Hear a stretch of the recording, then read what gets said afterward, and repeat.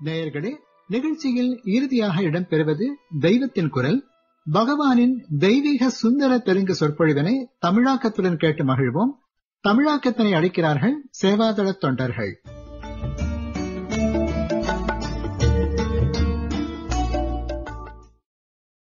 మంచి మనసుగా మనము కలిగి ఉండాలనుకుంటే మంచి సంఘాన్ని మనం చేరాలి நம் மனம் தூய்மையாக இருக்க வேண்டுமென்றால் நல்லோர் சேர்க்கையை நாட வேண்டும் అయితే ఒక్కొక్క సమయం లోపల మంచి చెడ్డగా కనిపిస్తుంది చెడ్డ మంచిగా కనిపిస్తుంది ஆனால்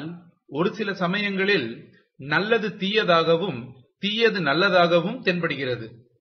ఎవరు మంచివారో ఎవరు చెడ్డవారో తెలుసుకోవడం చాలా కష్టమే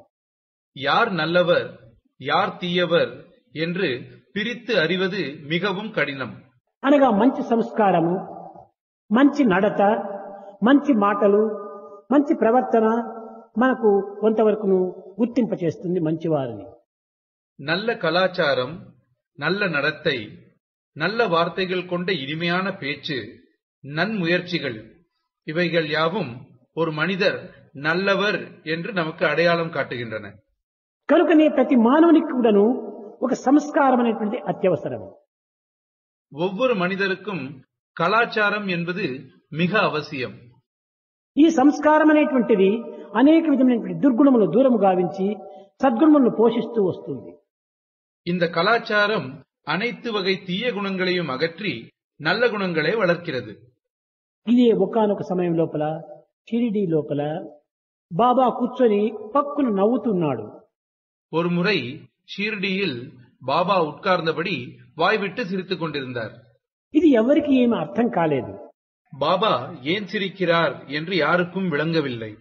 కొంతమంది పిచ్చివాడని పలుకుతూ ఉంటారు కొంతమంది ఇతను ఒక బైరాగి అని భావిస్తుంటారు ఇతను ఒక ఫకీరు అని చెప్పి విశ్వసిస్తుంటారు இதை பார்த்த ஒரு சிலர் பாபா பைத்தியக்காரர் என்றும் ஒரு சிலர் பாபா பைராகி என்றும் ஒரு சிலர் அவரை ஃபக்கீர் என்றும் நினைத்தனர் ఇలాంటి పరిస్థితి లోపల ఈ పిచ్చివాడు అనుకున్నటువంటి వారికి పిచ్చిగానే కనిపిస్తూ ఉంటాడు ఫకీర్ అనుకున్నటువంటి వారికి ఫకీర్గానే కనిపిస్తుంటాడు இப்படி இருக்கையில் பாபாவை யார் பைத்தியக்காரர் என்று நினைத்தார்களோ அவர்களுக்கு பைத்தியக்காரராகவே தென்பட்டார் யார் ஃபக்கீர் என்று நினைத்தார்களோ அவர்களுக்கு ஃபக்கீராகவே தென்பட்டார் ఈ విధంగా నవ్వుతూ నవ్వుతూ వరే కుల్కర్ణి ఆవ్ అన్నాడు అక్కడ ఒక కుల్కర్ణి ఉండేటువంటి వాడు దీనికి పూర్తి పేరు అప్పా కుల్కర్ణి అని పేరు இப்படி சிரித்த வண்ணம் ஏய் குல்கர்னி இங்கே வா என்று அழைத்தார் அங்கே குல்கர்னி என்று ஒருவர் இருந்தார் அவருடைய முழு பெயர் அப்பா குல்கர்னி ఏం స్వామి అన్నాడు குல்கர்னி வந்து என்ன சுவாமி என்று கேட்டார் ఆ జోబిలో ఉన్నటువంటి రెండు కాసులు ఇచ్చి ఈ పహల్గాం వెళ్లి అక్కడ నానా ఉంటాడు తీసుకునిరా అన్నాడు பாபா தனது ஜோபியில் இருந்த இரண்டு அணாக்கள் எடுத்து அதை குல்கர்னியிடம் கொடுத்து பெஹல்காவ் என்ற ஊருக்கு சென்று நானா என்ற மனிதரை அழைத்து வா என்று சொன்னார் ఈ నాన్న తహసీల్దార్ పని చేస్తుండేటువంటి వాడు ఆనాటి పరిస్థితిలో తహసీల్దార్ అంటే ఒక కలెక్టర్ తో సమానం మహా గౌరవంగా బ్రతికేటువంటిది తహసీల్దార్ పని ఈ రెవెన్యూ సంబంధమైనటువంటి అన్ని కూడా తహసీల్దార్ దగ్గరే పోయేటువంటి இந்த நானா ஒரு தாசில்தாராக பணிபுரிந்து வந்தார் அந்த காலத்தில் தாசில்தார் என்றால் கலெக்டருக்கு சமமான ஒரு வேலையாகும் மிகவும் கௌரவமான ஒரு பணி வருவாய் சம்பந்தப்பட்ட அனைத்து முடிவுகளும் தாசில்தாரிடமே செல்லும் అంతే కాకుండా దానికి తోడుగా పవరుకు తగినట్టుగా ఇతను మహా సంస్కృతం నేర్చుకున్నటువంటి వాడు నాన్న గొప్ప విద్యావంతుడు మంచి పదవిలో ఉన్నాడు మంచి పర్సనాలిటీ ఈ మూడింటిని పురస్కరించుకొని అహంకారం కూడా అధికమైపోయింది அவர் வகிக்கும் பொறுப்புக்கு ஏற்ப சமஸ்கிருதம் அறிந்த பண்டிதராகவும் இருந்தார் நல்ல பதவியில் இருந்தார் ஆஜானுபாகுவான உடல்வாகு கொண்டிருந்தார் இவைகளால் தான் என்ற அகங்காரம் அவரிடம் மேலோங்கி இருந்தது ఈ కుల్కర్ని వెళ్ళిన తక్షణమే ఎందుకోసం వచ్చావన్నాడు இந்த குல்கர்னி சென்று அழைத்தவுடன் எதற்காக வந்தாய் என்று நானா கேட்டார் బాబా నిన్ను తీసుకుని రామన్నాడు అన్నాడు பாபா உங்களை அழைத்து வர சொன்னார் என்றார் குல்கர்னி ఛీ, వెళ్ళు నీకు బుద్ధి లేదా Don't ఎవరో have sense. ఎక్కడో ఒక ఫకీర్ ఉంటే వాడి దగ్గరికి నేను తహసీల్దారు నేను గొప్పవాణ్ణి మంచి అధికారిని నేను గొప్ప విద్యావంతుణ్ణి నన్ను వాడి దగ్గరికి పోమంటున్నావా వెళ్ళిపో అన్నాడు வெளியே போ யாரோ எங்கோ இருக்கும் ஒரு ஃபக்கீர் அழைக்கிறார் என்பதற்காக நான் ஒரு பெரிய தாசில்தார் நன்கு படித்த ஒரு பண்டிதன் அவரை போய் பார்க்க வேண்டுமா என்று கூறினார் நானா కానీ మరీ తర్వాత ఈ వార్త తెచ్చి భగవ భ- అంటే బాబాకు అందించడం చే- తిరిగి వెళ్లి తీసుకుని రామని పంపించాడు Bring నేను him back. నానాను చూడాలి నానాను చూడాలి నానాను చూడాలి అని ఒక పిచ్చివాడి వలె అరుస్తున్నాడు బాబా குல்கர்னி வந்து பாபாவிடம் செய்தியை சொன்ன பிறகு பாபா குல்கர்னியை மீண்டும் சென்று நானாவை அழைத்து வரச் சொன்னார் நான் நானாவை பார்த்தாக வேண்டும் நான் நானாவை பார்த்தாக வேண்டும் என்று பைத்தியக்காரரைப் போல புலம்பினார் ఈ కుల్కర్ని కూడా నువ్వు ఏమిటి ఇది నన్ను కూడా అవమానపరుస్తున్నాడు ఈ నాన్న ఇంత అహంకారి అయినటువంటి నానాను చూడటం లోపల బాబాకు ఉన్నటువంటి యొక్క అప్పి- ఆప్- ఆప్యాయత ఏమిటి అని అర్థం చేసుకోలేకపోయాడు కడపటికి ఈ కుల్కర్ని పోయి కాళ్ళు పట్టుకొని బాబా నిన్ను చూడాలని ఆశిస్తున్నాడు తప్పక నీవు రావాలి అని గట్టిగా ఏడ్చాడు పాపం కుల్కర్ని இந்த குல்கர்னி யோசித்தார் நானா என்னையும் அவமானப்படுத்துகிறார் அப்படி அகங்காரம் கொண்ட இந்த நானாவை பார்த்துவிட வேண்டும் என்று பாபா ஏன் அடம் பிடிக்கிறார் என்று புலம்பினார் கடைசியில் பாபாவின் கட்டளைக்கு இணங்க குல்கர்னி நானாவின் கால்களை பற்றி பாபாவை வந்து பார்க்க வேண்டும் என்று மன்றாடினார் అప్పుడు చెప్పాడు నాన్న నా ప్రార్థన అయినా మన్నించి మీరు తప్పక రావాలని కుల్కర్ని కోరాడు నీ బాధకై నేను వస్తున్నాను కానీ బాబాను చుట్టగా నేను రావటం లేదు అతను ఒక Yeah. పిచ్చి మనిషి అతను కేవలం ఒక బెగ్గరు నేను గొప్ప రిచ్ మ్యాన్ అధికారిని குல்கர்னி மிகவும் மன்றாடி நானாவை அழைத்தார் நானா அதற்கிணங்கி உனக்காக தான் நான் அங்கே வருகிறேன் இவ்வளவு மன்றாடி அழைக்கிறாயே அதற்காக தான் வருகிறேன் பாபாவை பார்ப்பதற்காக அல்ல பாபா ஒரு பைத்தியக்காரர் அவர் ஒரு பிச்சைக்காரர் நான் மிகவும் செல்வம் வாய்ந்தவன் ஒரு பெரிய தாசில்தார் షిరిడీకి వచ్చాడు అసలు నమస్కారం కూడా చేయలేదు చేతులైనా కట్టుకోలేదు ఎందుకంటే మీరు పిలిపించారట నీకు నాకు ఏం సంబంధం ఉంటుండాది You నేను and ఒక me. పెద్ద అధికారిని మీరు కేవలం ఒక బిచ్చగాడిగా ఉంటున్నారు నీతో నాకేం పని ఉంది నాతో నీకేం పని ఉంది ஷிரடிக்கு வந்தார் நானா நமஸ்கரிக்கவும் இல்லை கைகூப்பி வணங்கி நிற்கவும் இல்லை எதற்காக என்னை அழைத்தீர்கள் என்று பாபாவை பார்த்து கேட்டார் நான் செல்வந்தன் நீங்கள் பிச்சைக்காரர் நான் ஒரு பெரிய பதவியில் இருக்கிறேன் நீங்களோ ஒரு பைத்தியக்காரர் எனக்கும் உங்களுக்கும் என்ன சம்பந்தம்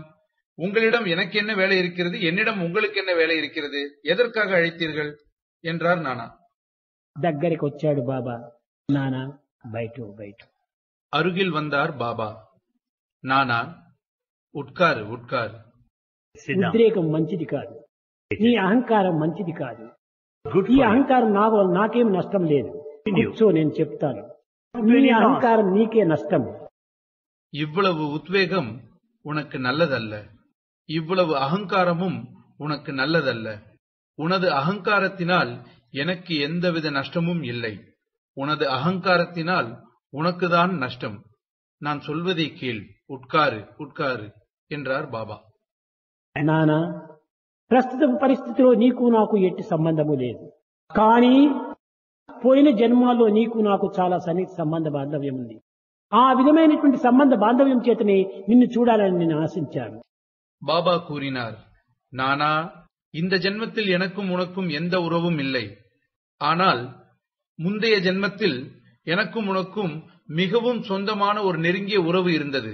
அந்த சொந்தமான நெருங்கிய உறவினால்தான் உன்னை இப்பொழுது பார்க்க நான் ஆசைப்பட்டேன் ఇప్పుడు నాన్న మరింత కోపం వచ్చింది ఏమిటి ప్రజెంట్ పరిస్థితిలోనే సంబంధం లేనప్పుడు ఎప్పటికో పాస్ట్ నాకు నీకు ఏం సంబంధం ఉంది Present ఇట్లాంటి విషయాలు existing. నేను నాకు నమ్మకం లేదన్నాడు நானாவின் கோபம் இன்னும் அதிகரித்தது என்ன இது இந்த ஜென்மத்திலேயே உறவு இல்லை என்று நான் கூறுகிறேன் எப்பொழுதோ பாஸ்ட் எப்பொழுதோ பழைய ஜென்மத்தில் உறவு என்று கூறுகிறீர்கள் இதிலெல்லாம் எனக்கு நம்பிக்கை இல்லை என்று கூறினார் బాబా లేచి దగ్గరికి వచ్చి తన హస్తములు పెట్టి కన్నులను అట్టు తీశాడు பாபா எழுந்தார் அருகில் வந்து தனது இரு கைகளால் நானாவின் கண்களை மூடினார் కానీ కన్నులు తెచ్చాడు నాన్న పాస్ట్ లైఫ్ యొక్క చిత్రాలంతా కనిపించాయి అప్పుడు ఇది నా భ్రమ నేను దీన్ని నమ్మను నా పాస్ట్ అనేటువంటిది నాకు కనిపిస్తుండాలి నీ పాస్ట్ నాకు కనిపించాలి కదా நானா கண்களை திறந்தார் அவரது முந்தைய ஜென்ம காட்சிகள் அனைத்தும் அவருக்கு தென்பட்டன ஆனால் அவர் அதை பிரமை என்று புறக்கணித்து விட்டார் எனது முந்தைய ஜென்ம காட்சிகள் எனக்கு தெரிந்ததைப் போல உனது முந்தைய ஜென்ம காட்சிகளும் எனக்கு தெரிய வேண்டுமே என்று பாபாவை கேட்டார் His own తర్వాత life. నానా ఐస్ కూడాను కన్నులు కూడాను టచ్ చేశాడు బాబా పూర్వం ఎవరో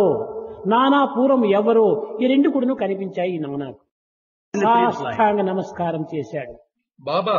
தனது கண்களையும் நானாவின் கண்களையும் தனது இரு கைகளால் மூடினார் நானாவிற்கு பாபாவின் முந்தைய ஜென்மம் கண்ணெதிரே தென்பட்டது தனது முந்தைய ஜென்மமும் கண்ணெதிரே தென்பட்டது தனது தவறை உணர்ந்த நானா சாஷ்டாங்கமாக பாபாவின் கால்களில் விழுந்து தன்னை மன்னியுங்கள் என்று கூறினார் బాబా తెలియనటువంటి దీంతో మేము చాలా మూర్ఖత్వాన్ని పొందిపోతుంటాము తెలియనప్పుడు తెలియని వారిగా మేము ఉండము తెలిసిన వారిగా మేము నటిస్తాము No. మీకు తెలిసి కూడాను తెలియనటువంటి వారిగా మీరు ఉంటారు ఇది ఏ భేదము భగవంతునికి భక్తునికి Devotee. తెలియకపోయినప్పటికీ తెలిసినట్టు నటించేటువంటి వాడు భక్తుడు తెలిసి కూడాను తెలియనటువంటి వాడిగా ప్రవర్తించేటువంటి వాడు భగవంతుడు நானா கூறினார் பாபா எனது அறியாமையால் எதுவும் தெரியாமல் இருந்துவிட்டேன். எதுவும் தெரியாத போதிலும் தெரிந்தது போல் நடித்து விட்டேன் எதுவும் தெரியாமல் தெரியும் என்று இருப்பது நான். அனைத்தும் தெரிந்திருந்தும் தெரியாதது போல் இருந்து விட்டீர்கள் நீங்கள். பாபா என்னை மன்னியுங்கள் என்றார். இதுதான் கடவுளுக்கும் பக்தர்களுக்கும் உள்ள வித்தியாசம். எதுவுமே தெரியாமல் அனைத்தும் தெரிந்தது போல் இருப்பது மனிதர்களாகிய நாம் பக்தர்கள். அனைத்தும் தெரிந்திருந்தும் எதுவும் தெரியாதது போல் இருப்பது பகவான் அதாவது கடவுள்.